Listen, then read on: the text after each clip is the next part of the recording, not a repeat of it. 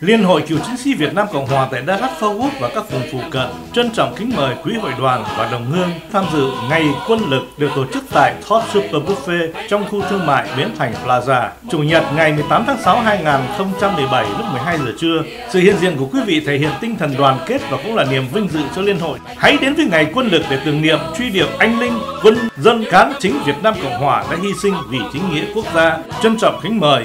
Liên hội trưởng Nguyễn Hữu Duyệt